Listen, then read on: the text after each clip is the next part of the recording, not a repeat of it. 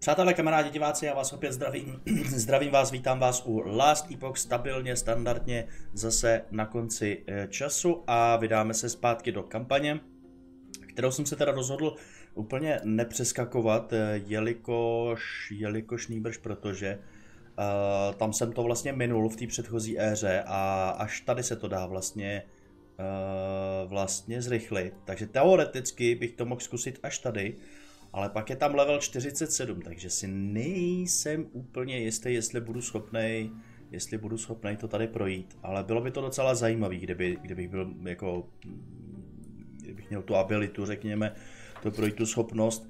Nicméně bude to záležet hodně na těch předmětech, který v tuhle tu chvíli nemám nějak výrazně dobrý. A to je to, co jsem, to je to, co jsem vlastně v souvislosti s tím vysvětloval eh, v těch předchozích několika dílech, že si myslím, že to přeskakování je hodně závislý právě na tom, jaký máte připravený předměty a některý z nich si myslím, že musí být hodně, nechci říct úplně endgameový, ale musí být hodně silný. Musí být hodně silný, hlavně co se do damage týče, protože ve chvíli, kdy nemáte dostatečný damage, abyste one-shotovali všechno, nebo one-shotovali více méně, že jo, one-shotovali, to je takový dost relativní pojem, ale ve chvíli, kdy zkrátka nemáte všechno na jednu ránu, tak je problém, že se k vám ty monstra dostanou a dají vám damage. A vzhledem k tomu, že tady funguje ten stejný princip, eh, jak jsme se bavili, že u Diabla 2 a u jiných her, to znamená, že je tady princip toho, eh, že eh, rozdíl úrovní mezi vámi a vaším nepřítelem hraje zásadní roli, tak to má potom, tak to má právě nakonec ten největší dopad právě na to, jestli jste schopný něco projít, protože vy byste ten damage mohli klidně i mít, ale pokud nemáte obranu a je tam velký rozdíl v úrovních, tak je logický, že, že takřka nebudete mít šanci přežít v těch situacích. Jo, takže ono sice, sice by to bylo hezký, že byste tam, že byste tam jako všechno pokosili, ale pak by prostě přišel jeden moment, jeden jediný moment, kdyby se k vám někdo dostal na blízko a byl by, a byl by konec. Jo, byl by pro vás konec, protože by vás, eh, protože by vás cokoliv zabilo na jednu ráno. Takže, takže to je vlastně taková moje myšlenka zatím a, uvidíme, uvidíme, jestli třeba do takovéhle fáze dojdu. Bůh ví, budu moct mít třeba štěstí, já nevím, tady a... No, to asi Budu mít třeba štěstí a pokusím podaří se mi, podaří se mi teda tady nafarmit nějaký item, super a nebo no. Třeba, třeba to bude vypadat úplně jinak. To je ale hudba budoucnosti, no, teďka vůbec nevíme, jak to, jak to budeme zvládat dál. Do této chvíle to ještě relativně jde, ten build v tuhle chvíli, tak jak jsem si ho představoval, tak eh, docela funguje. Nicméně nepoužívám, nepoužívám ten multiple shot, eh, že bych ho jako záměrně chtěl takhle používat tady na tom baru, že jo, přímo. Ale dělám to jenom z toho důvodu, že nemám jinou možnost, protože když je tady těch monster je fakt hodně, tak pro mě vlastně ten multishot přímo, takhle jako kástěný, je levnější než uh, je levnější právě než ta flery, protože ta flery uh, žere hrozně moc hrozně moc many a nevydrží teda na příliš dlouho tím pádem. Eh, je určitě fajn, že ta flery potom kouzlí, eh, kouzlí ten multishot automaticky, ale bohužel ta mana je v tuhle chvíli trošičku problém. Respektive ona mana by nebyla takový problém, ono možná by to uh, nebylo špatný, kdyby, kdyby vývojáři třeba hru maličko bych řekl vybalancovali, ale věřím tomu, že to neudělají tím směrem, který by se mi, který by se mi líbil. A to je směrem k tomu, aby těch monster bylo míň, abyste tím pádem měli třeba menší i damage. A aby vlastně každý ten boj dával trošičku, aby měl zkrátka větší, větší smysl ten boj, jo? aby pro vás byl víc zásadnější, aby ten loot potom měl trochu větší smysl.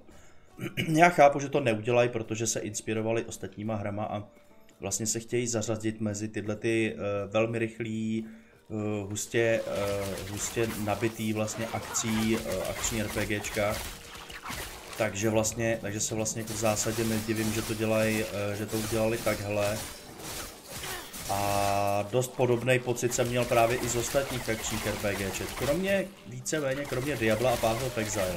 Jo, ale v Titan Questu, v Grimdonu jsem všude měl dost podobný pocit, že mi připadá, že těch monster je tam zkrátka až zbytečně moc, že někdy bych řekl, že jako méně je více a já nepotřebuju kosit miliardy nepřátel. Mě prostě jako baví zabíjet ty nepřátelé, ale jenom do určitý, do určitý míry, pak už, to, pak už to vlastně jako nedává moc smysl, když máte celou obrazovku zaplněnou nějakýma, nějakýma monstrama a už vlastně ani nevěnujete pozornost tomu, co přesně zabijíte a co přesně děláte, protože už jenom hážete co nejvíc skillů můžete, co nejvíc plošných skillů ještě lépe řečeno, abyste tím pokryli celou obrazovku a zabijíte prostě všechno na celé obrazovce a, a má to být jako zábava pro vás.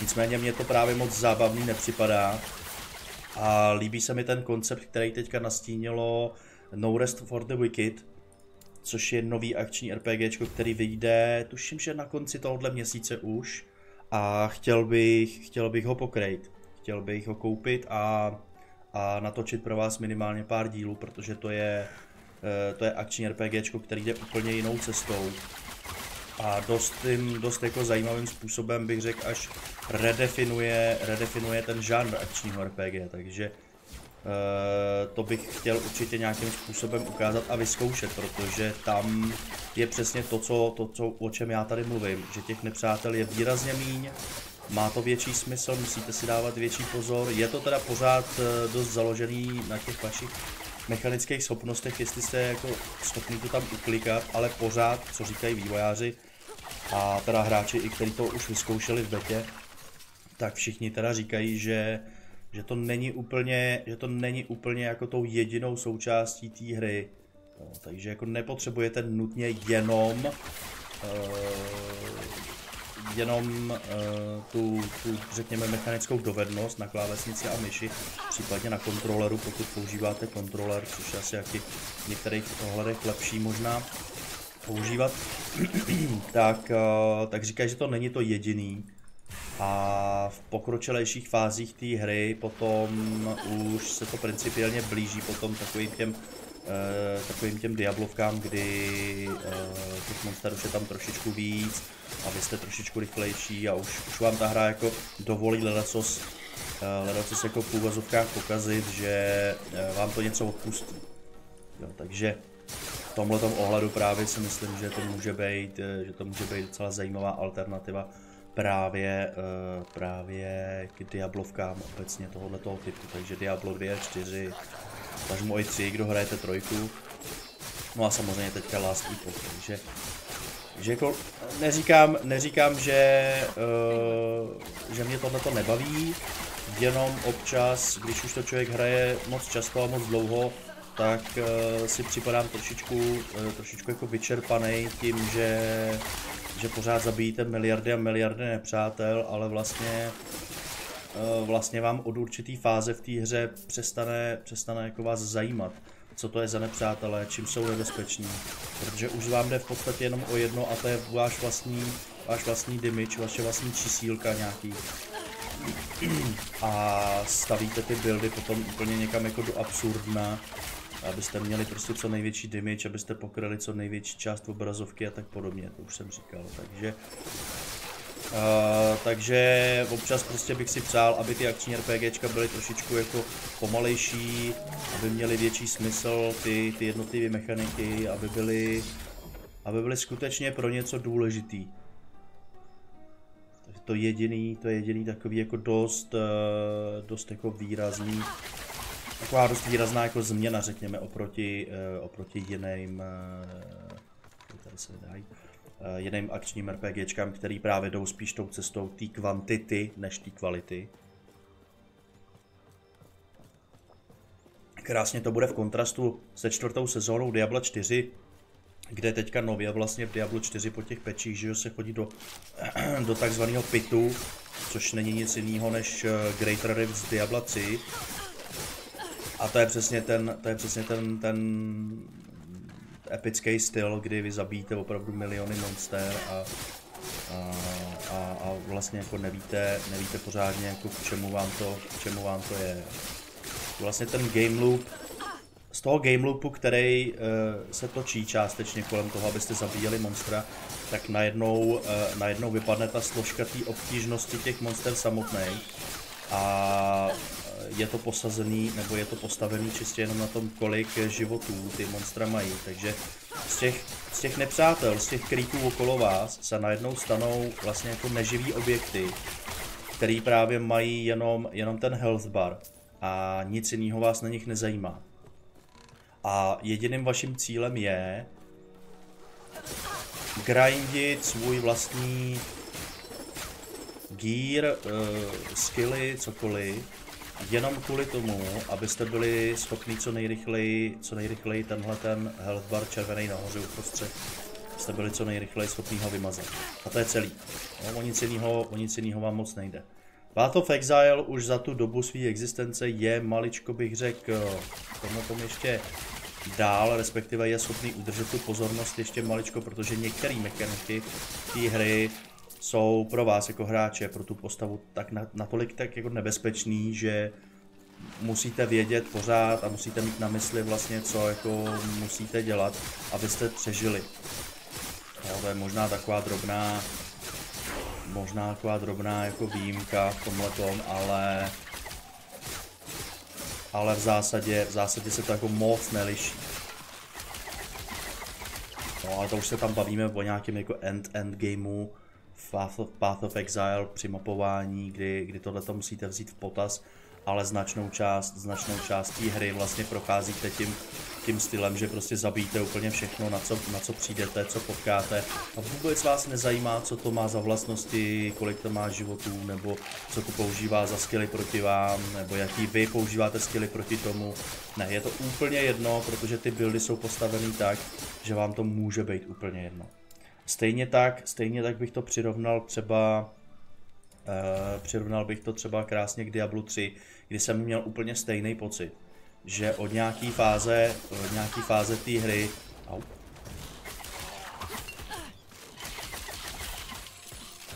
od nějaký fáze hry jsem potom vlastně mm, měl pocit, že je úplně jedno, jaký používám skilly.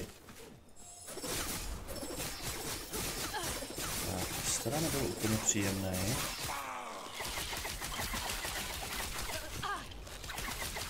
Člověk musí teda velmi rychle reagovat.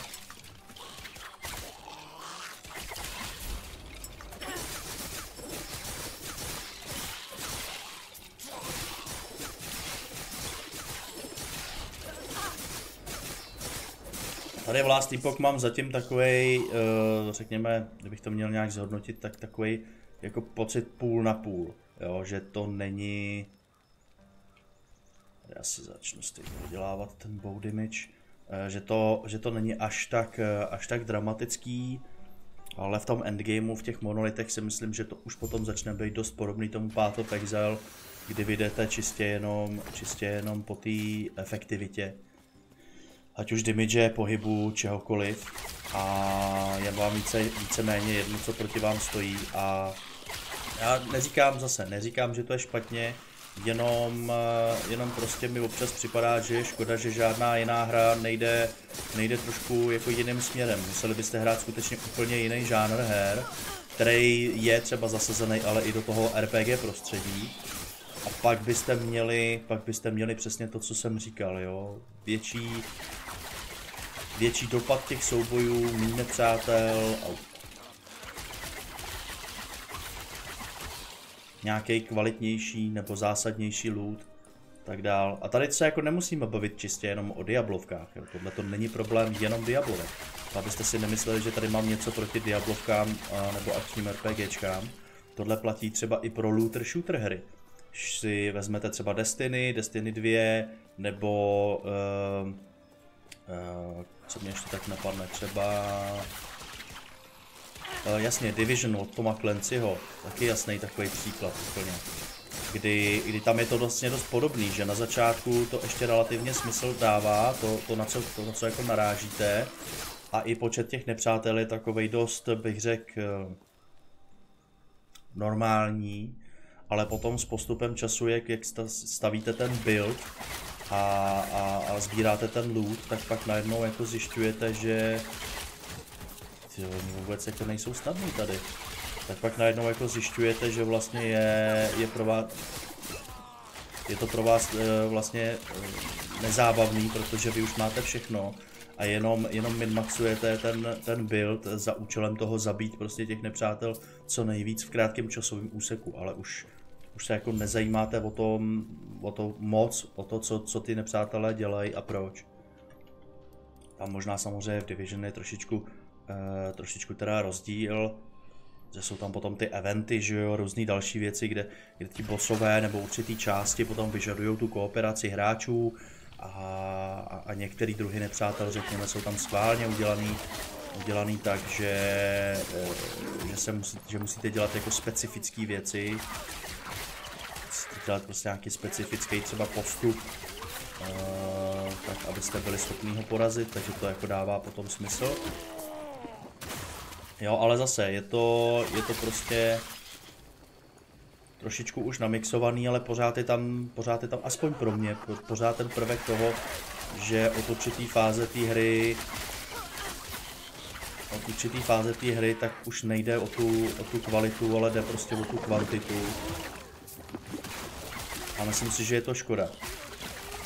Myslím si, že je to škoda, že místo toho by, kdyby vývojáři se právě zaměřili spíš na tu kvalitu, nechali vlastně ten počet, nechali nějakou efektivitu toho boje a to tempo a jenom by se zaměřili na kvalitu těch, těch nepřátel a vás, pardon, tak by to pro mě jako pro hráče bylo zajímavější ve výsledku. Jo, ale je to můj osobní názor. E, říkám, pokud chcete něco takového, tak musíte bohužel sáhnout většinou do úplně jiných akčních žánrů nebo jiných herních žánrů obecně. A a to je potom škoda, protože mě, mě obecně, že akční RPGčka baví, baví mě ten progres, baví mě i příběhy samozřejmě v těch akčních RPGčkách, pokud jsou dobře napsaný. Právě třeba Division, Division si myslím, že ve spoustě ohledech je napsaná velmi dobře. Přece jenom to má základ, že od Toma Clancyho, tak je to asi celkem jasný, že to bude kvalitně, kvalitně zpracovaný. Nicméně, nicméně právě je škoda, že je škoda prostě, že mi to nenabídlo potom v tom v těch pozdějších fázích té hry, tak mi to nenabídlo úplně to, co jsem od té hry třeba chtěl a, a, a po určitý době mě to vlastně přestalo bavit hrát. Jo, nějaký tyhle ty endgameové aktivity a tak dál, protože ze všeho potom je SpongeBob na, na, na náboje, že jo, takzvaný, že jo, ta houba, houba, která jenom absorbuje, absorbuje ten váš damage, ale vlastně, ale vlastně nevíte, nevíte z jakého důvodu. Jo. Protože, protože to nedává logický smysl, právě proto. Protože jako hráči, hráči většinou nejsou jenom tupí ovce a když nad tím popřemýšlíte, tak zjistíte, že je to trochu divný, že, že sice nepřítel má na sobě nějaký typ zbroje třeba, ale vy do něj sekáte tady, že jo, v klasických akčních RPGčkách nebo v případě looter shooteru, do něj střílíte půl minuty, vystřílíte do něj 10, 10 zásobníků a pak se sami musíte ptát jako hele, nakolik je tohleto realistický. No, nijak. Tady v tomhle uh, normálně klasický takový tyhle ty jako v úzovkách řekněme středověký, uh, středověkýho typu akční RPGčka, tak uh, mají maličko výhodu, mají maličko výhodu z toho důvodu, že tohle je fantazy. A ve fantazii si prostě zkrátka vývojář nebo autor může vymyslet, co chce. Pořád to víceméně bude dávat smysl. Takže tady to mají trošičku snazší v tom hledat, eh, hledat nějakou odpověď nebo nějakou výmluvu, výmluvu na, eh, na to, proč to tak vlastně je, proč se to děje. Nicméně pořád, pořád to toho člověka nezbavuje, nezbavuje toho nepříjemného dojmu, že to není úplně reálný.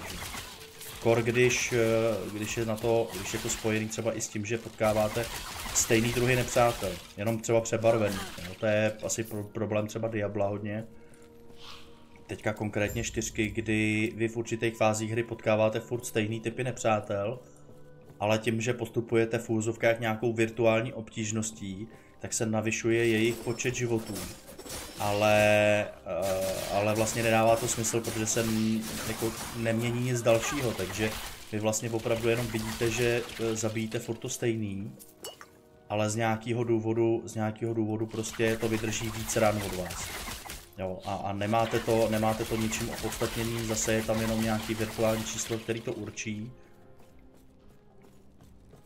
A bohužel vy s tím jako hráči nic neuděláte. Takže to bych řekl, že je, že je samozřejmě takový taková jako potíž se všema takovýmhlema, takovýhlema hrama.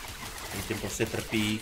Diablo 2 je taky krásným příkladem, kdy kdy vlastně vidíte, že ten váš level a level těch monster je v podstatě opravdu jenom to jediný, jediný virtuální číslo, který určuje e, nějaký poměr sil mezi váma a tím nepřítelem, což působí právě dost, e, dost nelogicky, když se nad tím pak člověk začne zamýšlet, takže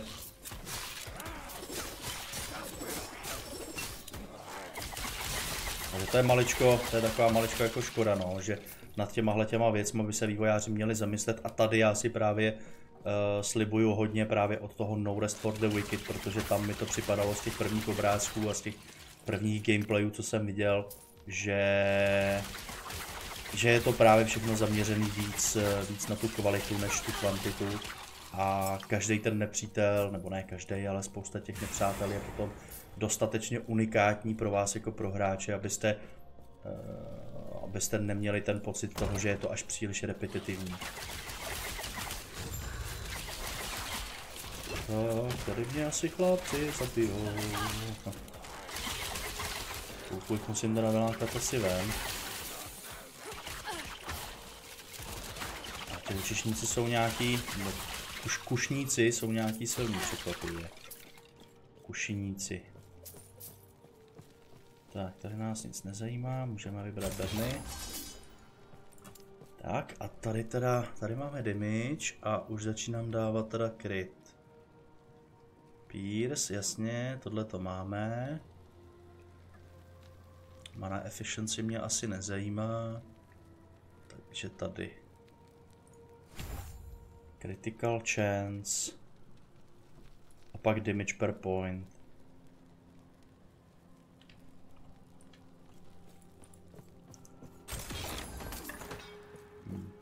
Nic nebylo, to bylo hodně slabý teda. Ale jdeme dál. No a už teďka vidíte, že mám vlastně dost problém, že jo, kvůli té itemizaci, tak se teďka vlastně, uh, musím teďka vlastně řešit ten problém, že mi, že mi chybí obrana. No.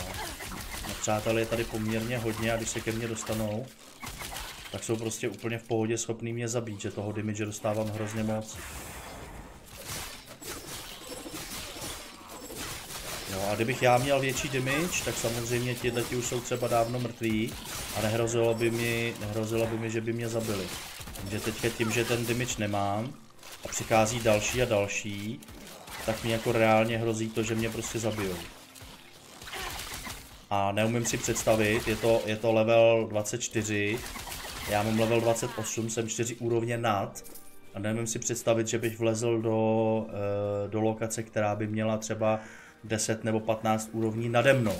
Ne pode mnou, ale nade mnou. Jo, to si právě moc neumím představit a tím pádem, když nemáte připravený ten dír, jak jsem říkal, tak jsem přesvědčený o tom, že nemáte vůbec šanci si zkrátit, zkrátit nějakým způsobem ten příběh.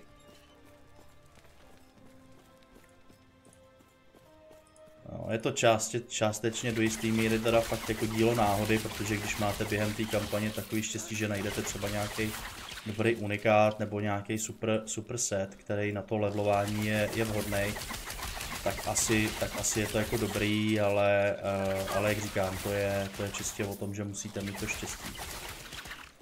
A nebo dost času, nafarmit to s těma jinýma charakterama, že tady furt, že existuje rovno v... Nevím, teďka si nepamatuju, jak se jmenuje ten název. Podíváme se. Tohle uh, Rune of Ascendance. Pořád je tady Rune of Ascendance a ta vám teoreticky může udělat, uh, může udělat docela rozdíl. Co dáváš, dáváš damage, dobrý.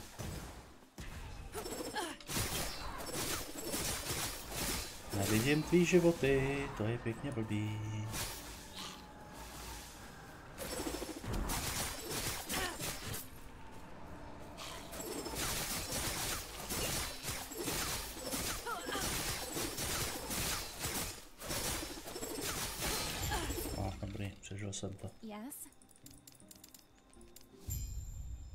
Jo, že tady vidíte, jaký já mám teďka ohromný problém s tím přežitím, no. Jako chápu to, v zásadě mi to nevadí, protože jako rouk je prostě papírová a měla by být slabší, co se týče přežití, ale no právě potom mi nedává úplně, úplně jako smysl, smysl ten příběh přeskakovat, protože ten příběh si myslím, že je vybalancovaný dobře právě kolem toho levelování.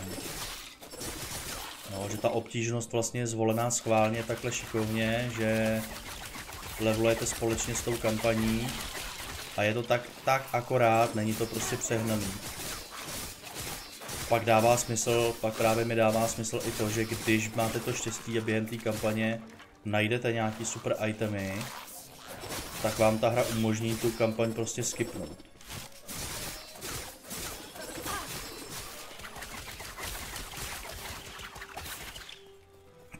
Takže to mi jako smysl dává, no, ale bohužel Bohužel to neznamená, že byste si to zkrátili s postavou, kterou jedete jakoby fresh na novo. Tak já to budu muset dávat do toho, do toho damage. A otevřel se mi teda Dark Quiver. Summon seven black arrows that rain from the sky over 4 seconds, granting increased damage to your next bow attack when retrieved. To schválně zkusíme, jo. Mana. 17 many, to není tak hrozný.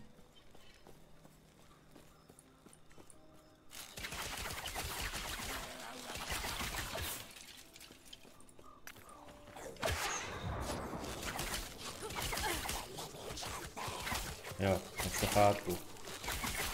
Trochu jsem si to tak myslel. Že vy vykástíte, vykástíte vlastně quiver, oni se, oni sletí dolů takhle na zem. A vy když tu quiver, když tu, když ten šíp, vy když ho seberete ze země,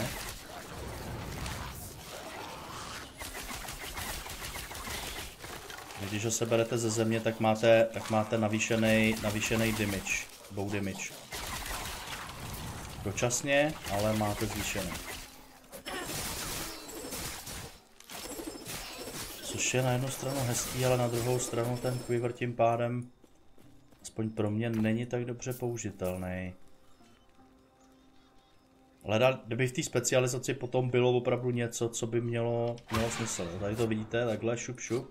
Začnou padat a já když je teďka seberu, to vystřelím pár šípů, seberu další, vystřelím pár šípů, seberu další a tady vidíte ten buff Black Arrow. Jo, takže jako má to asi smysl udělat to tak, že vy si to nahodíte takhle někam dopředu pak tam jako jdete, bojujete a proti bossům si myslím, že to může být docela fajn.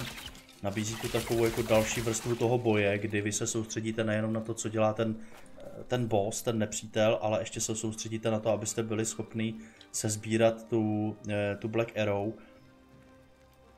Ale, ale nevím teda, přiznám si, že nevím teda, co, uh, co ty synergie nebo co ty další věci. Je to buff, takže to je jasný. Using a black arrow causes your next multi-shot to pierce additional enemies. Using black arrow improves your next flurry's base critical strike chance. No tady vidět, že to buffuje prostě výrazně, výrazně ten damage, který, který třeba používám. Tady je teda Dragon Slayer Cinder Strike. Tady je nějaký Shadow. Consume shadow. Using a black arrow consumes all active shadows. Tak to je spíš pro asasína nějakýho. Shadows nepoužívám, takže nevím. Tady je puncture. Tady máme detonating arrow. Tady máme knockback. Jo, tady to je spíš utility. Tady je zase flurry. Uh, black arrows are summoned more frequently. This doesn't cost more arrows to be summoned and also short duration. Jo, takže sice jako frekvenci víc, že jich je jako častěji, ale, ale nevydrží tak dlouho, takže máte méně času na to je sebrat. To není úplně ideální, bych řekl. You instantly summon number of black arrows on use, the rest are spread out over the normal duration. Jo, takže vy si sam nasamuníte jednu hned a ostatní tam potom začnou padat stabilně, takže máte trošičku větší kontrolu nad tím, eh, větší kontrolu nad tím, kde se přesně objeví ta arrow a máte ji vlastně k dispozici hned. Tady je teda Hail of Arrows. Using a black arrow causes your next hail arrows to deal uh, increased damage over time. Tady co? Tady je balista. Jasně. Um, pa, pa, pa, shadow, ono, jo, tady je shadow. Picking up a black arrow creates a shadow at, uh, at arrow's location.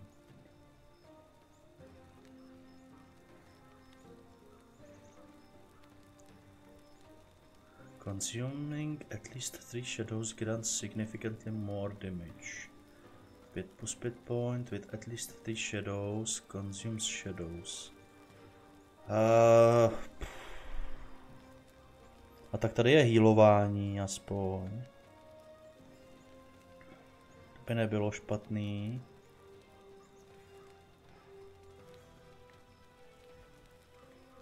Že bych měl... Já přemýšlím, jestli ta smoke bomb pro, pro mě, jestli pro mě smoke bomb má smysl, že bych místo toho dal Dark Quiver. Používal bych Dark Quiver a na Erku bych měl Hail of Arrows. A měl bych to pokrytý, měl bych to pokrytý všechno.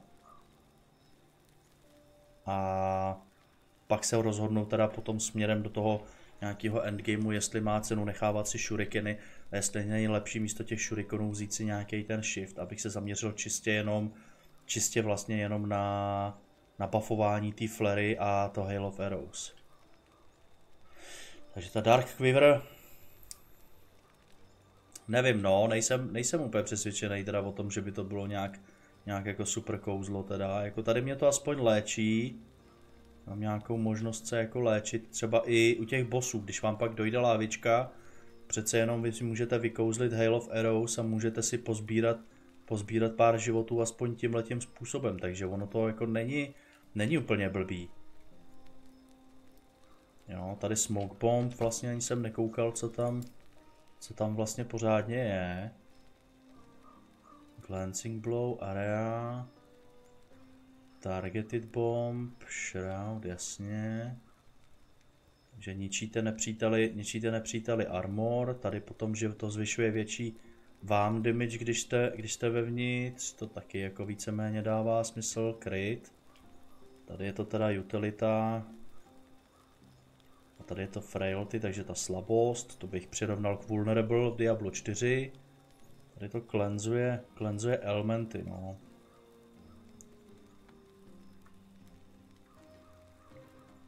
A tady je health gain per point.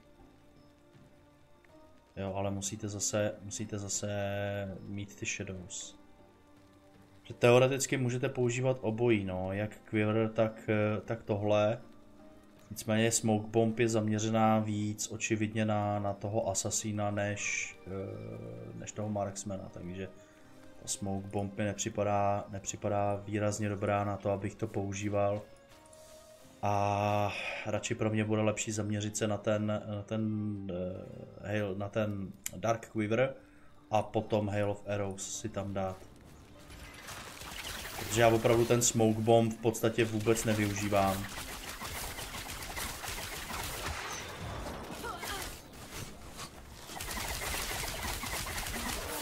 Ale jo, jako je to výrazně, výrazně silnější potom ten útok, no. Když vydrží dostatečně dlouho na té zemi, ty šípy, tak je to zase dobrý, že se s tím dá opravdu nějak pracovat. No. Takže jako není to úplně, úplně tak zlý. Damage, poison, to ne, bych potřeboval spíš kryt. Tady teda nemá smysl se teďka vracet a můžu jít normálně dál. No, to jako nemá vůbec smysl se tady pokoušet teďka si to zkrátit, protože tam, tam bych dostal prostě okamžitě, okamžitě IKčko.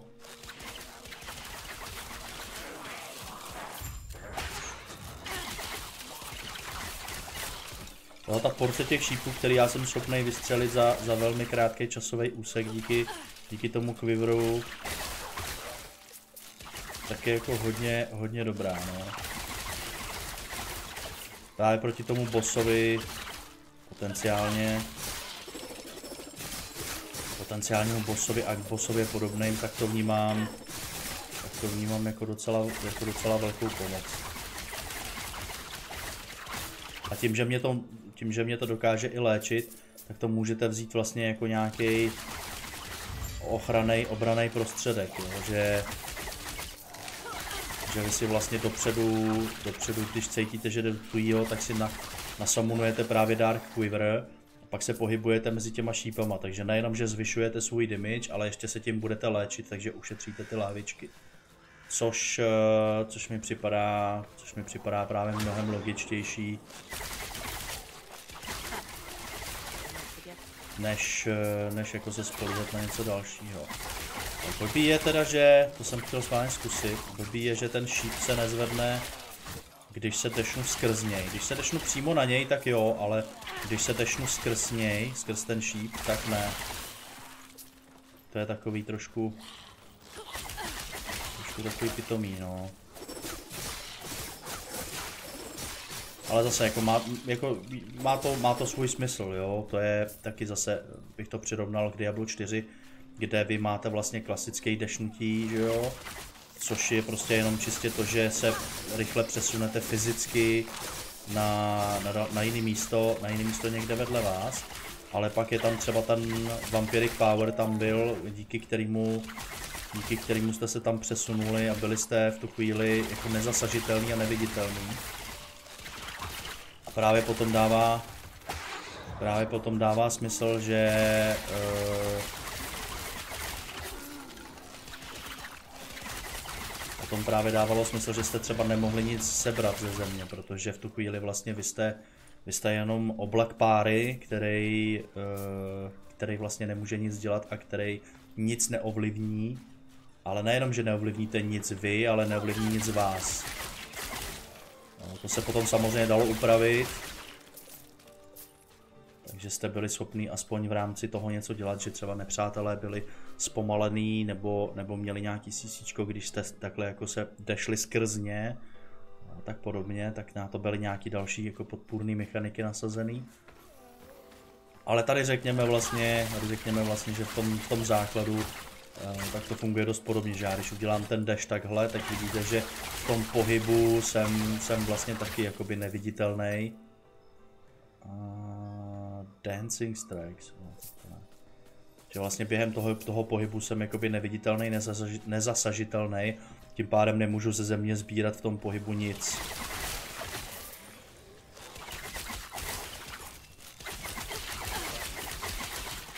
To makes, makes sense, takzvaně. Vidíme potom teda co do budoucna, no. Jako myslím si, že myslím si, že když ta postava bude dostatečně rychlá a, a zvyknu si na to, tak že ten Quiver může být i dobrý. No, zase je to spíš, bude to spíš takový ten situační prostředek, který zkrátka si použijete ve chvíli, kdy víte, že, že, že půjde do tuhýho, jo, že bude nějaký problém. A jak říkám, a jak říkám, může to být u těch bossů opravdu prostředek, nebo může to být věc, která mě tam zachrání kůži, protože mi třeba dojdou lahvičky, což se může, když jsem takhle squishy, tak eh, se jako může celkem, celkem jako jasně jednoduše stát. A to jsem nechtěl tudy. Takže, uh, takže určitě. Potom právě se říkáme, jestli ty shurikeny mají smysl nebo ne. Když budu mít manu, tak ty shurikeny budu moct, budu moct jako nahradit, no. To je za... Ice Beetle, a tak jo.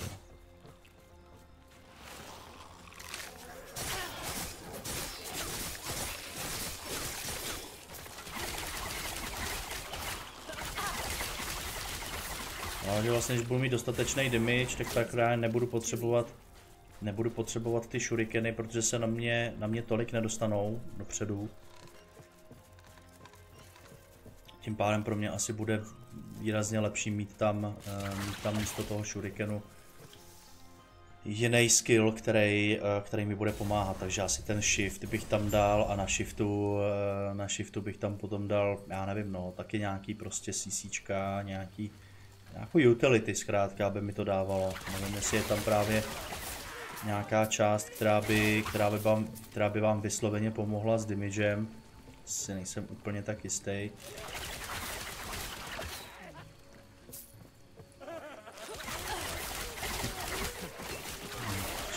Šílenci.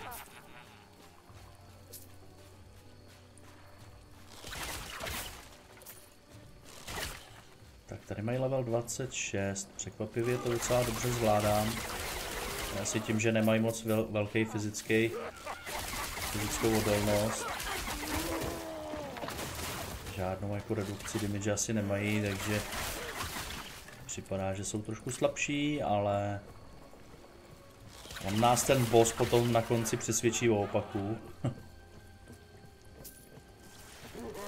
Musím se podívat, kolik mám void resistance.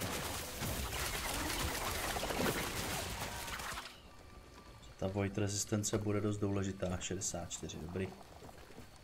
Tak to snad přežiju, no.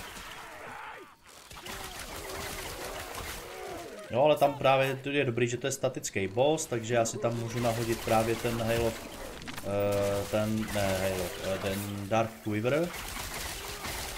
A můžu, protože tam stejně musím být v pohybu, abych to přežil to právě pro mě bude výhodný, že můžu posilovat svůj damage a zároveň se vyhejbat tomu nepříteli. Takže to rozhodně nevnímám jako nějakou, jako nějakou negativní věc a chápu principiálně k čemu ten Dark Quiver, Quiver je dobrý. No. Je to prostě něco za něco. Ty bonusy, které se tam teda objevily a který to přidává, už teď v nějaký základní formě, tak jsou natolik dobrý, že to opravdu stojí za to e, zvyknout si zkrátka na nějaký na nějaký ten systém kolem toho, jak to sbírat a jak manažovat ten svůj pohyb, tak abyste byli schopni sbírat ty, ty, na ty šípy. Což je fajn, což je fajn. Že třeba na první pohled se vám to jako hráči nezdá úplně jako a, ale potom vlastně v praxi, když to vyzkoušíte, tak zjistíte, že to je poměrně silný a že tomu buildu to fakt jako může pomoct. V některých chvílích to asi úplně nepoznáte, že jo, když tady bojujete s obyčejnýma creepama, který máte na věci rány, tak to asi nemá smysl nějak hrotit a řešit, ale to je přesně ono, že chcete, že jo, v ideálním případě to chcete použít skutečně jenom situačně, aby vám to, aby vám to jako pomohlo aby vás to jako někde pošouplo ještě o kousíček, o kousíček prostě dál v tom damage nebo v té obraně, v závislosti na tom, co potřebujete.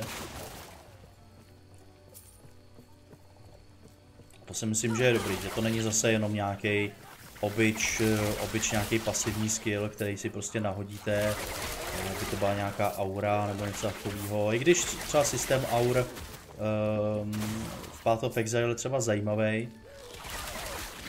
a hlavně teda představený systém v Path of Exile 2 je, se mi docela líbí, že vy tam máte vlastně, eh, vy tam máte vlastně eh, nějaký jako spirit, nějakou duši svojí, kterou, která se spotřebovává, která se spotřebovává tím, jak si nabíráte tyhle ty pasivní, pasivní schopnosti a ty aury. Že když je máte aktivní, tak vám to spotřebovává místo many právě tenhle ten spirit a dává to smysl. Tak jo.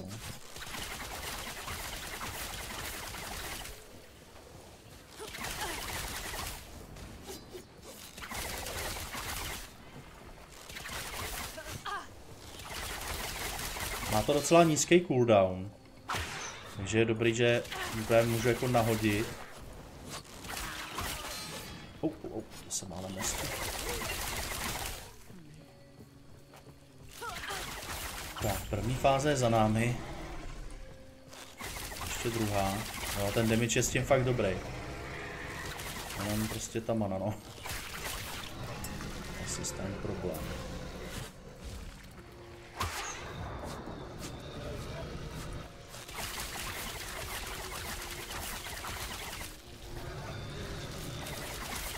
Jediný, co se trošičku blbě manažuje, ještě manu, kdyby to tak přidávalo. Jediný, co se blbě manažuje, je to, jak dlouho vám to vydrží, no, ten buff. Takže pokud se nedíváte dolů, eh, dolů tady na kraji obrazovky, abyste ten buff měli na očích, úplně nebudete vědět, úplně nebudete vlastně vidět, jak dlouho vám vydrží. Tak, výborně. Takže nakonec to bylo poměrně easy. Jste mohli vidět. A dostal jsem dokonce i passive point za to, což je super. Takže další kousek damage. A jako už to začínám, už to pomaličku začínám vnímat, že to flary s tím multishotem je fakt dobrý. Tím, jak je tam ta velká rychlost útoku, tak když je tam dostatečně velký ten damage, tak to vypadá opravdu, vypadá to opravdu, opravdu dost silně. Takže, takže jsem rád, že, že se ukazuje, že to byla správná volba. Uvidíme, co dál. Teď jenom mít opravdu třeba štěstí na nějaký ty itemy, no. Hele, Flixi. Protože jsem se tam podíval.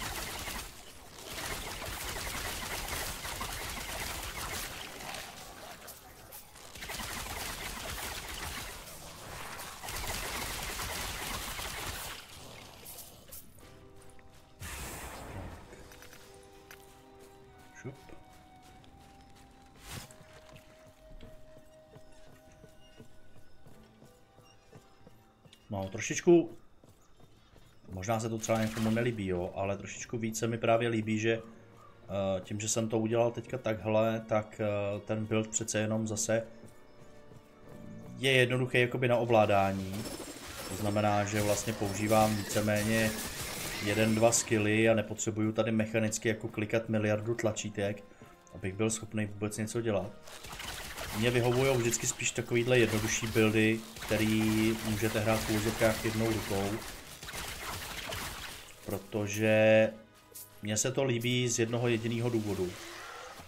A to je to, že se pak můžu koukat těma, těma věcma, co se, děje, co se dějou na obrazovce. Uh, nemám rád komplikovaný, komplexní buildy, který potřebujete, na který potřebujete klikat milion věcí, protože pak jako hráč třeba tolik nestíhám se dívat na věci, na věci okolo. A připadá mi, že jako přicházím vlastně jako o nějakou část té hry, což přicházím, že jo, přicházím o ten audiovizuální zážitek, o zpracování těch nepřátel, o ty prostředí, že jo, o ty detaily v tom prostředí a tak dál. To jsou věci, to jsou věci, které mi potom připadají, že je škoda, že o ně jako hráč přijdu největší problém je to třeba v Path of Exile, kde je skutečně takový bordel na obrazovce a musíte tak jako dávat pozor na to, co děláte s některýma těma buildama, že je to fakt nepříjemný. Ale, ale zas na druhou stranu tam ten vizuál je takovej, nechci říct úplně ošklivý, ale, ale zkrátka Path of Exile jednička není zas až tak, uh, až tak jako na výši audiovizuálně, že by to člověk opravdu chtěl nějak, eh, nějak takhle, nějak takhle jako hodnotit, nebo se kochat jako nějakým audiovizuálem, to úplně.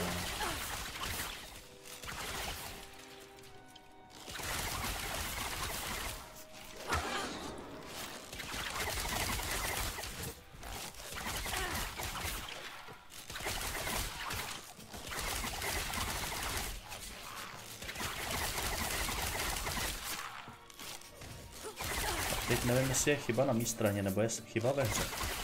Ale vypadla mi... Vypadl mi... Vypadává mi zvuk v jednom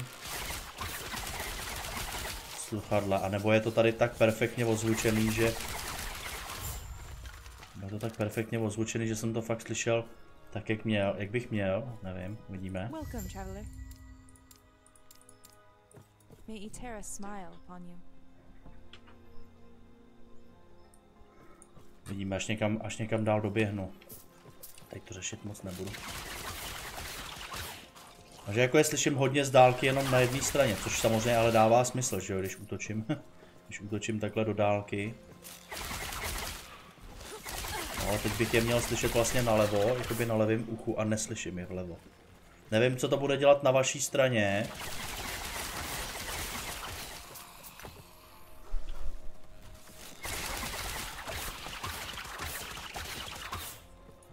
asi není nějaký fyzický problém teda v mých sluchátkách.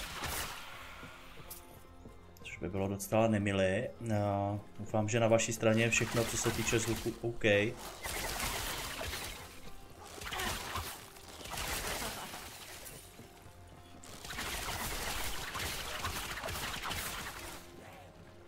Ale nepřipadá mi to, že by... Že by se taky bylo něco špatně.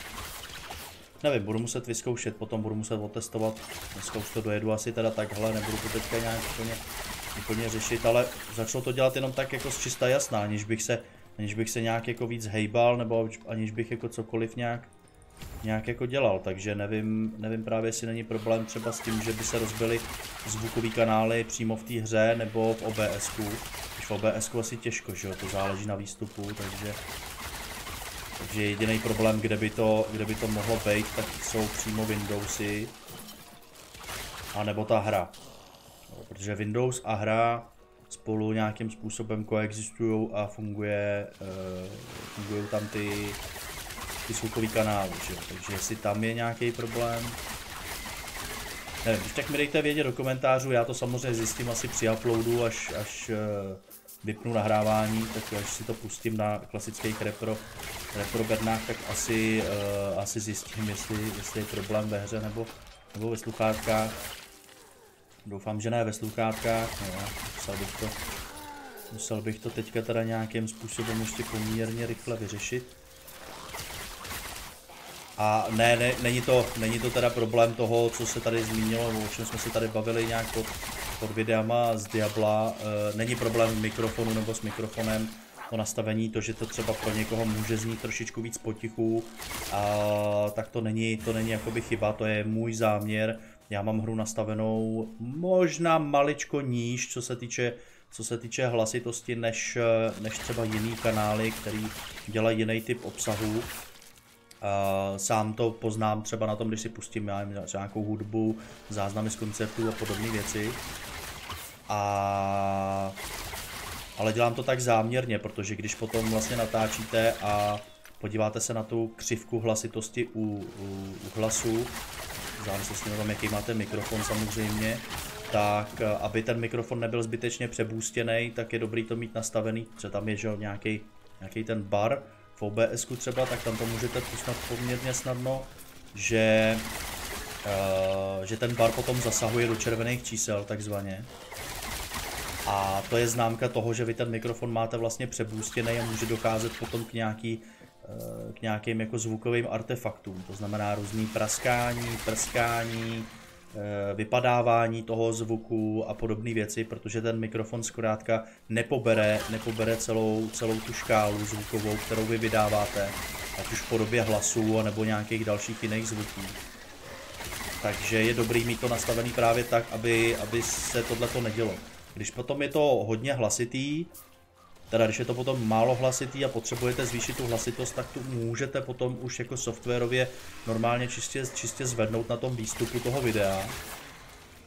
Ale určitě není dobrý, není dobrý to dělat právě na tom vstupu, na té straně toho mikrofonu jako takového. Takže, takže potom, co já sleduju i ostatní právě content creatory a youtubery a streamery, tak to mají taky takhle dělaný, že vlastně když mají třeba eh, mikrofon od Shure, tak na něm mají, tak na něm mají i takový ten ledkový ukazatel, že jo, který vám ukazuje, jak jste vlastně hlasitý a pokud to zasahuje do červených čísel, tak vám ten mikrofon sám už vlastně říká, hele, stlum mě, protože to přeháníš. A pak teda je, je druhá možnost, jak to, jak to vylepšit a to je právě na straně toho softwaru, kde vy to volume prostě můžete zvednout ale všichni to mají nastavený zhruba stejně a jestli já tady oproti těm lidem mám rozdíl opravdu třeba jako maximálně 2 decibely, tak je to, tak je to asi hodně, takže uh, spíš mně se velmi často stává to, že určitý typy, určitý typy obsahu nebo nebo vývojářů, teda vývojářů, uh, content creatorů, který to třeba nemají až tak dobře nastavený, tak naopak já musím třeba stlumovat a slyším tam právě to jejich praskání, prskání a takovéhle věci, takže Eh, takže to není úplně, takže to není úplně příjemný a není to úplně, uh, není úplně, úplně OK. Tak vydržte, já se tady jenom podívám. Tak, podíváme na port, jestli je v pohodě port. Trošičku zahýbat s hlasitostí. mi to bude asi řvát, teď mi to urve uši, protože nevím teďka na jaký straně mám volume, jestli doleva, doprava, jestli je to nahoru nebo dolů. Jo, dobrý, problém odstraněn. Bylo to asi, asi tím, že se nějak hnulo, hnulo kolečko z hlasitostí nepříjemně do nějaký polohy, kde to přeskakovalo. Takže se omlouvám za, za tuhle tu vsuvku technickou. Ale rozhodně nejsem odborník jako jo, na ten zvuk. To pokud byste chtěli vysloveně vědět něco o zvuku, případně jeho nastavení eh, v OBS nebo, nebo i v jiných programech, tak doporučuji se podívat na Twitch. Nebo mám pocit, že má i YouTube, eh, YouTube nějaký videa Rob Dies a Lot, eh, že český, český YouTuber a, a Twitch streamer.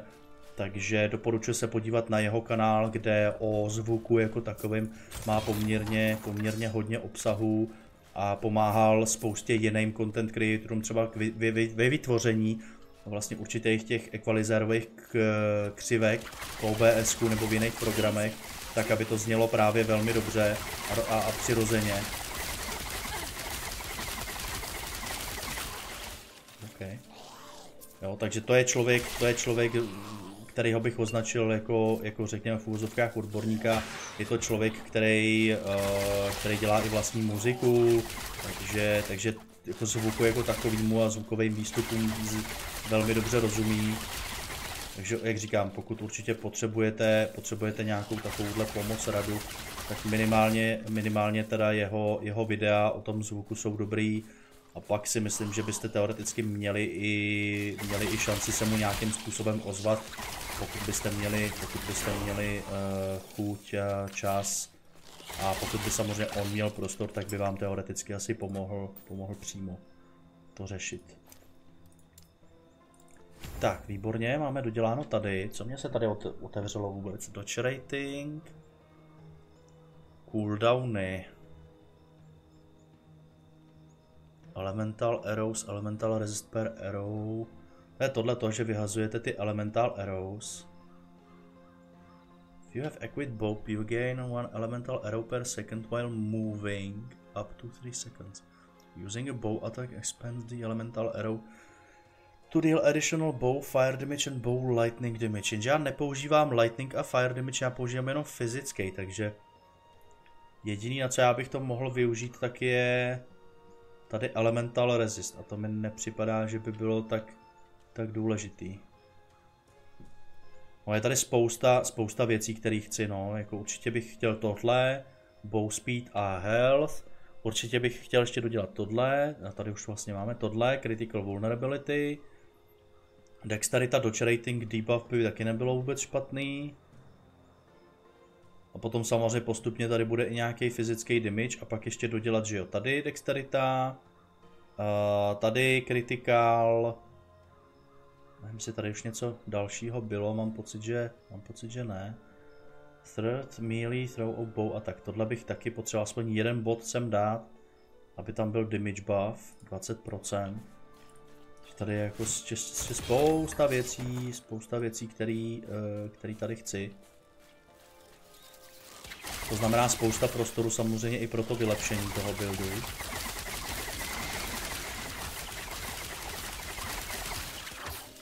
Ale řekl bych, že teďka, teďka už ten damage je docela, i bych řekl, dobrý. Ok, physical necro resist, to zní docela zajímavě.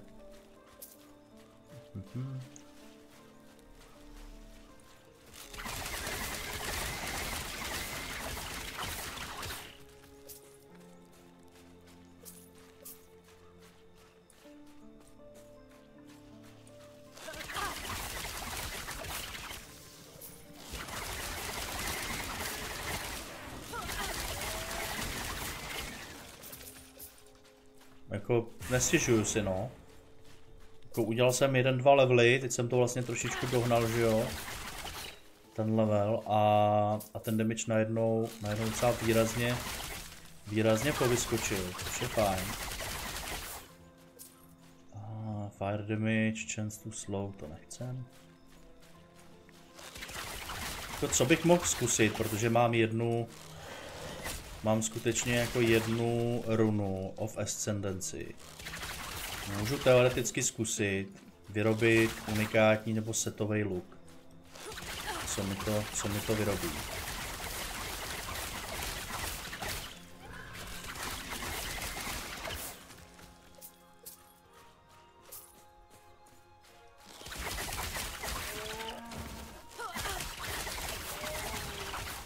Protože mít nějaký hodně silný look by teďka bylo hodně jako OP. Vzhledem k tomu, kolik těch šipů jsem schopný v, v krátkém časovém úseku vysypat. Do šlamáňa, do šlamáňa.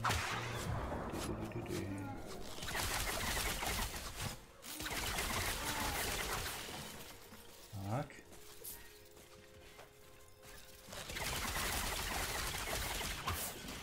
Výborně.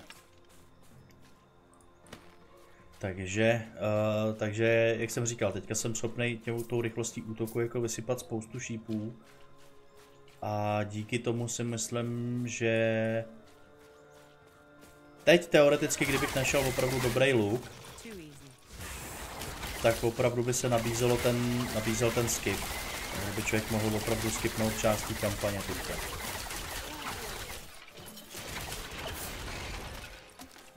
Posmrtně ještě mě málem zabil. Tak maličko drobný sekání, to jsem si toho všimnul už eh, několikrát že když eh, ze země sbíráte hodně affix shardů, tak se, tak se hra, hra uh, cukne.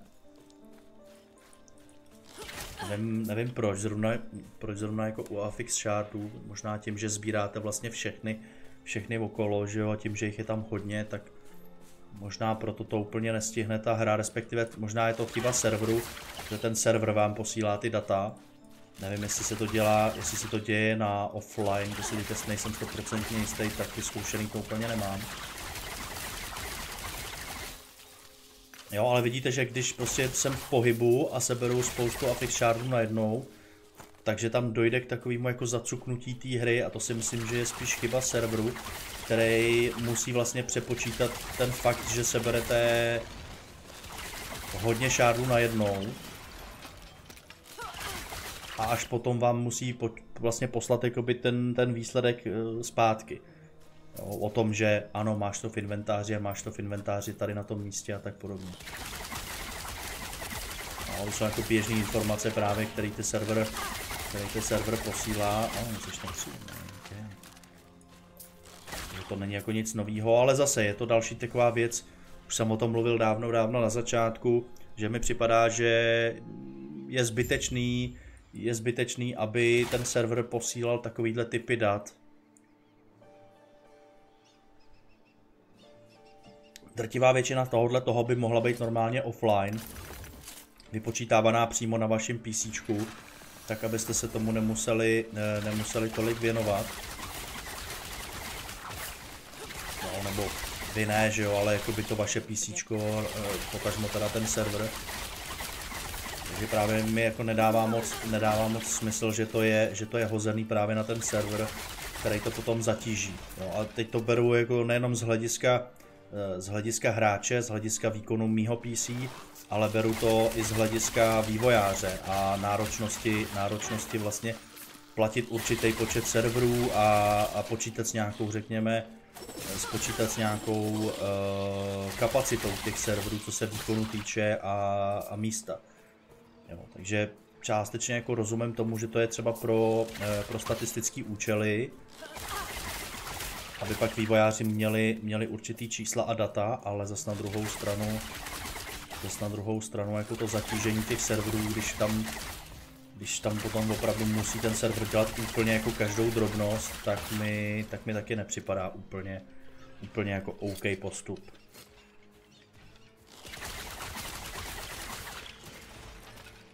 No, mana je trochu problém, no. mana se bude muset vyřešit. Mana se bude muset vyřešit.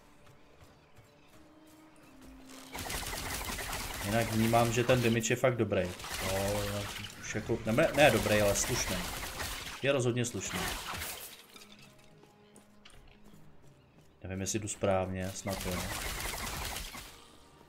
Jo, že i třeba tyhle ty silnější, silnější typy nepřátel jsem schopný zabít poměrně rychle No a tady vidíte právě v tu chvíli není tolik potřeba mít tu obranu. No, už jsem o tom právě mluvil. Vy, vy, když to zabijete prostě dostatečně rychle, tak na co potřebujete tolik obrany, když to všechno pomře dřív, než eh, vám to nasype tolik damage. Tady je to právě krásně, krásně poznat na tomhle kontu.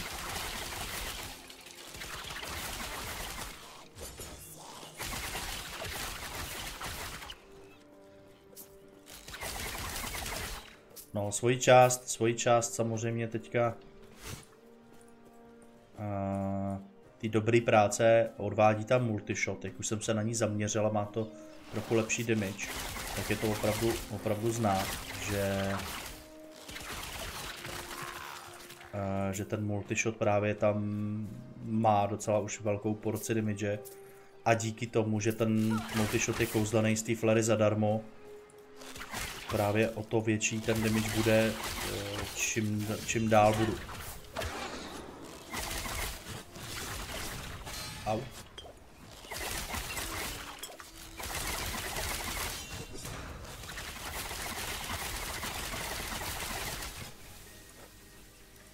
Ha, vyšla mana. Au. Buď hodnej.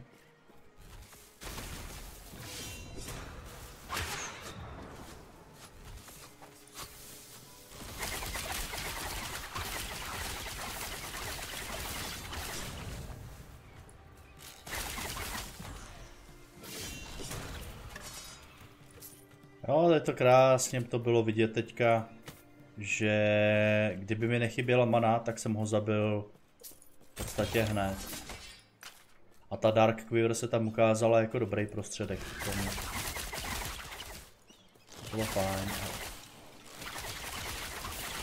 To bylo docela dobré. Jdeme správně, jdeme správně. Snad.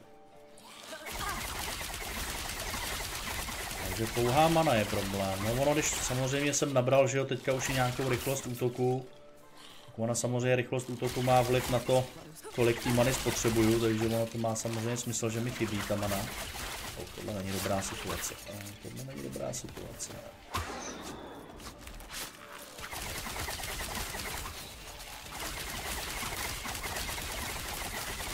Ten Pierce tady teďka taky pomáhá.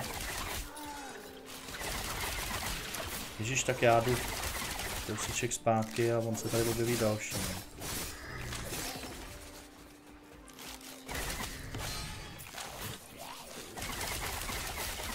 Uh, to je taky jedna věc, která mě tady na nich hrozně vadí na těchto těch zom, zombie oživovačích.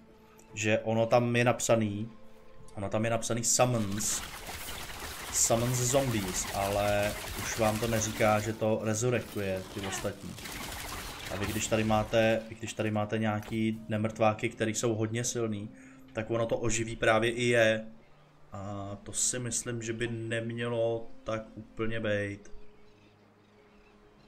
Pokud ano, tak by to mělo být slabší, že by to třeba trvalo díl, než by vyvolal, vyvolal nějaký...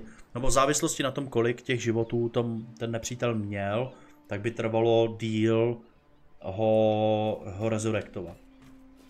Protože tady, že jo, tenhle ten, tenhle ten okřídlený, okřídlený uh, nekromant, nebo jak to nazvat, tak vlastně přiletí a okamžitě během prostě vteřiny dvou začne vyvolávat všechny, všechny nemrtví nepřátelé, který jste tady během nějaký uplynulý doby zabili. A to má strašný dopad na to, eh, jak rychle jste schopni to tam pozabíjet, protože zkrátka na to nemáte úplně, nemáte úplně damage jo, na rozdávání, abyste to zabíjeli dvakrát, třikrát. Nebo nedej bože, ne, nedej bože ještě víckrát, takže to mi, to mi trošku nedává, nedává úplně, úplně smysl, jako proč by to mělo být tak strašně silný. Vlastně na druhou stranu, tohle to si vývojář eh, jednoduše, eh, jednoduše uhájí, obhájí tím, že řekne, že eh, chce nějakým způsobem manažovat vás jako hráče, a donutit, nebo spíš on by řekl asi motivovat vás k tomu, eh, motivovat vás k tomu, abyste šli zabít eh, nejdřív primárně jeho a pak se soustředili na ten zbytek.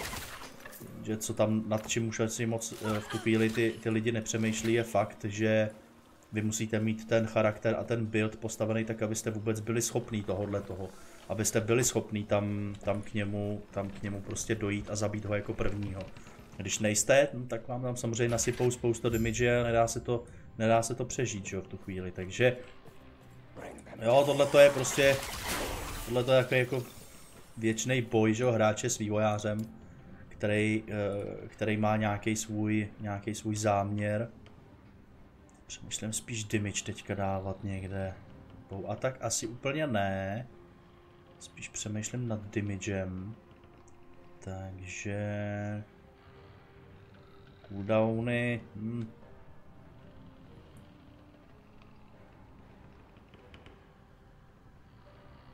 Lose concentration, to je blbý, to nechcem. Takže bych to dal do dexterity. Bych to dal tady do toho. Že dodge, dodge rating debuff taky není úplně špatný. Proti bossům. Proti bossům proč ne? Aspoň jeden bodík chcem třeba dát. A a pak nesmím zapomenout na ten jeden bod tady, to jsem udělal možná chybu. Potom.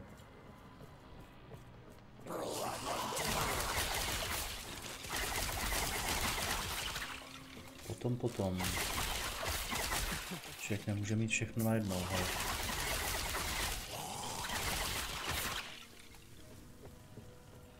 Člověk nemůže mít úplně všechno najednou.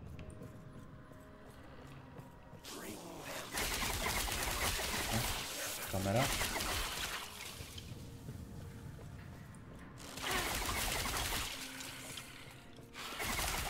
Ujojoj. OK. Tohle je docela dobrý. Přemýšlím si najít do města. Co jenom už se mi povážlivě, povážlivě začíná, zač, ne, já to možná nestihnu. Nechte mě žít. To spoždění, no, ten co... Server lag není úplně příjemný. Takže zkusit nabrat teda nějaký, nějakou sílu teďka, zkusit nějaký itemy, jestli tady nemám... Hmm, ty mi dáš idoly, že jo?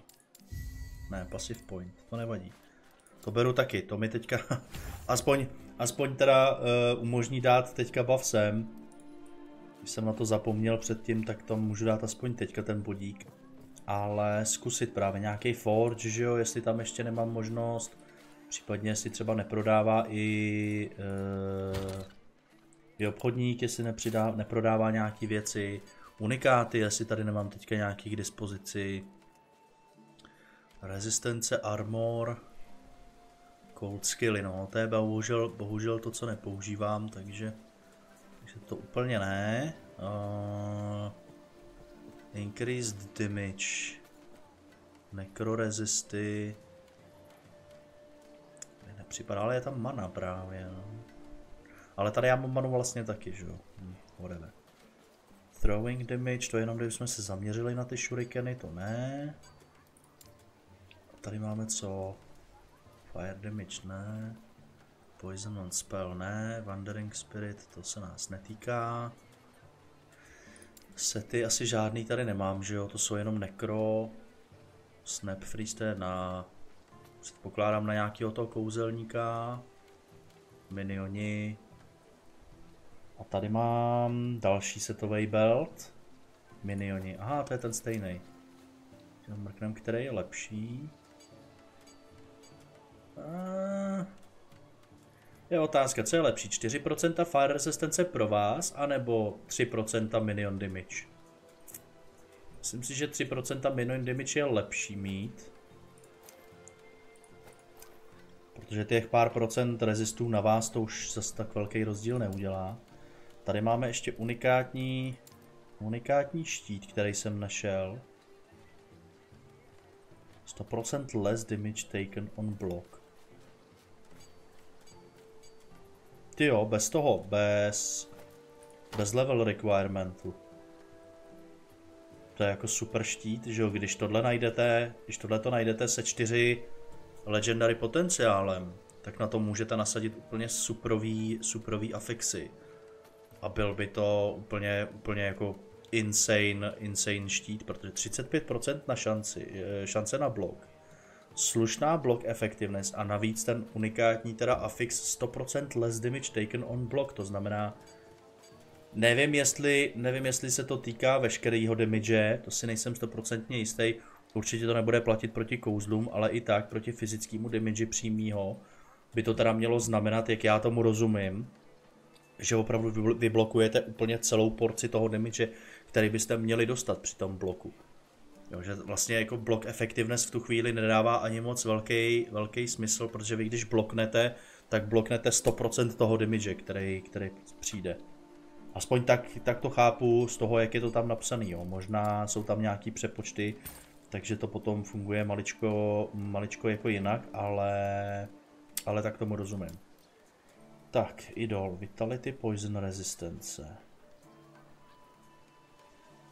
To si asi nechám spíš takhle. A můžu vzít klidně i tady jeden small. Teď se podívat teda na ty itemy, no. Tady nic. Increased cold damage, ne. Co já používám? Crit chance with flurry, cold resisty, void resisty, takže rezistence. 9% increased mana. No, to je třeba něco, co by se mi docela líbilo, ale... Uh, uh, nevím, no. Trochu slabší bych řekl. Oh, attack speed, mana, health, cold resisty. Tady taky crit chance with flurry. Je to prefix, takže to se dá teoreticky dobře nazbírat a neovlivní to třeba rezistence, což je dobrý. Takže když máte vlastně na suffixech rezisty, tak na prefixu můžete mít třeba manu a ten crit chance, což je docela dobrý. Jo, samozřejmě tady to v této kombinaci úplně ne, ale, ale určitě by se dalo ještě něco najít. Hele, tady máme Physical Lightning, tohle ve Forge můžu, můžu klidně i předělat. Ne, ne, jenom přemýšlím, teď jenom přemýšlím právě uh, nad tím, taky nebylo špatný. Physical a Necrotic Resisty na Quiveru. Přemýšlím nad tím právě, co bych rozdělal teďka v tom Forge. Bow Physical, Health on Kill, taky není úplně blbý. Poison resisty. Ale to jako může to být, tady vlastně když vezmete tenhle ten quiver, tak opravdu si vyřešíte docela značnou část rezistů, protože vy můžete dát zase na suffixy, vy můžete dát další rezisty a na prefixu můžete mít critical strike a nějaký typ damage, třeba physical damage nebo bow damage nebo něco dalšího. Což je lepší než asi než tohle, protože tohle to dává vlastně 16, v tomhle případě teda implicit je, nevím, kolik je tam rozdíl, 15 až 30, i když 30% bow damage už jo, asi je docela dobrý, ale řekněme, že v základu kolem 15% eh, bow damage to není zase tak velká pomoc. Takže v tomhle ohledu ten implicit vám za stolik nedá. A musíte to dohánět potom těma afixama, který si myslím, že nejste schopný to pokrýt. Takže něco takového něco takového by jako nebylo špatný, no. Jako implicit teda.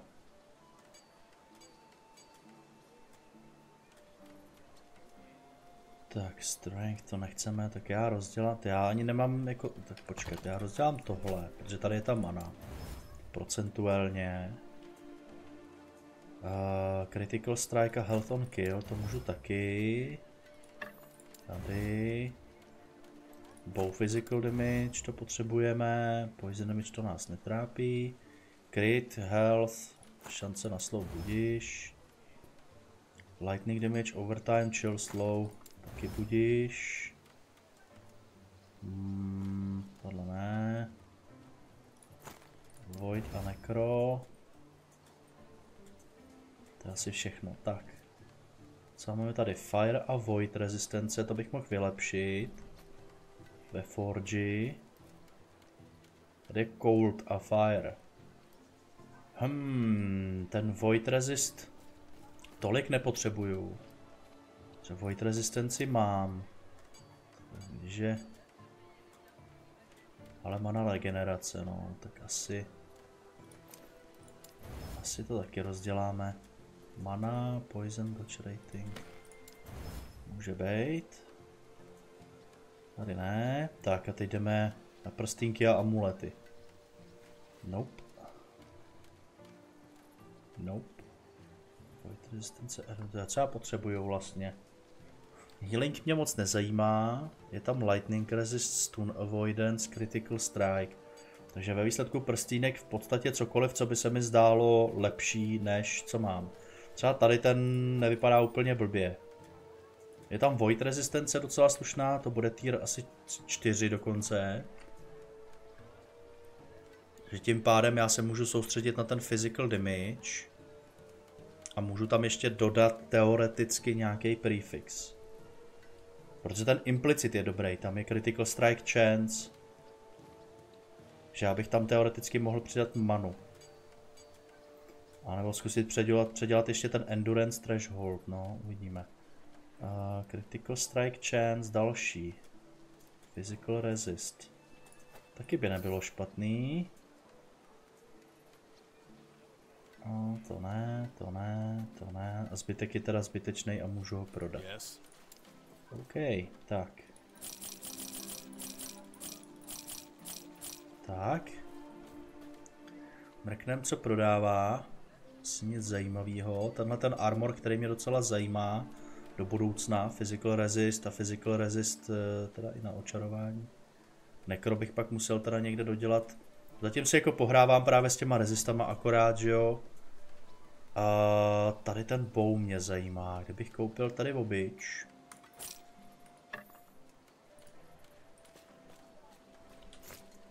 Jo, a já bych vlastně mohl zkusit... Mohl zkusit tohle totiž. Tak. Možná teď udělám chybu, jo, ale uvidíme. Uh, Hell Reach, unikátní bow, bow attack speed, fire penetration, bow fire damage. Hmm, to se mi bohužel vůbec nehodí. 710, 816, jako bylo by to vylepšení, bylo by to vylepšení toho, toho damage, jo, který mám, což je docela zajímavý.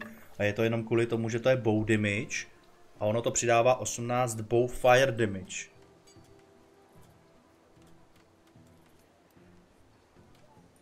A já tady samozřejmě zkusím ještě uh, of Discovery. Bow Fire Damage taky. Hmm, to je škoda.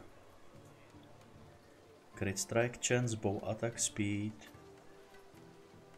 Kdyby to nebyl Bow Fire Damage, ale kdyby to bylo jenom Bow Damage, fyzický, tak můžu předělat tohle a dát tam potom místo i toho poisonu něco jiného. Jenže tady je problém, tady je jediný problém a to je ten forging potential. Takže smolík. No ale to asi znamená... Přemýšlím si to fakt vyměnit, no. Zkusíme to, já to zkusím takhle vyměnit a uvidíme, uvidíme co to udělá. Tady se chci podívat teďka na ty rezistence. Potřebuju teda opravdu jak jak physical.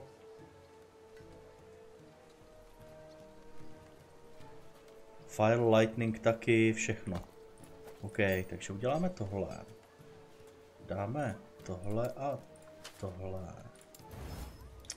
Zdovolením. Critical Strike Avoidance, to není úplně blbej. Blbej implicit. Teda ten uh, Physical Damage. O. O. Vylepšilo mi to tady to. Výborně. Physical damage, void rezistence. A teď přemýšlím, jestli právě má smysl pro mě s 25 potenciálem. Jestli má smysl tam dát ještě něco. Critical strike, no ideálně. Ten crit strike. Uvidíme. No a pak tohle, to bude ještě nějaký dodělávání, to já asi udělám příště, ale bohužel už teďka nemám moc času, je 11 hodin, takže bohužel už nemám, nemám tolik prostoru, takže už to nechci, nechci dneska protahovat, příště půjdeme dál, jenom dodělám tenhle ten item nebo těch pár itemů a pak uvidíme, kam nás to, kam nás to zase, zase dostane. Co se týče škálování toho damage, tak uvidíme, no. Chce to fakt najít nějaký dobrý look, který, eh, na kterým budeme mít hodně velký štěstí na ten damage, ale bude záležet skutečně jenom na štěstí. Takže mě nezbývá pro dnešek nic jiného, než vám poděkovat za pozornost a budu se na vás těšit zase za pár dnů. Tak se do té doby mějte krásně. Pokud máte nějaké připomínky, pište dolů do komentářů. Nezapomeňte někomu říct, že ho máte rádi a já tady na vás budu zase čekat. Tak ahoj.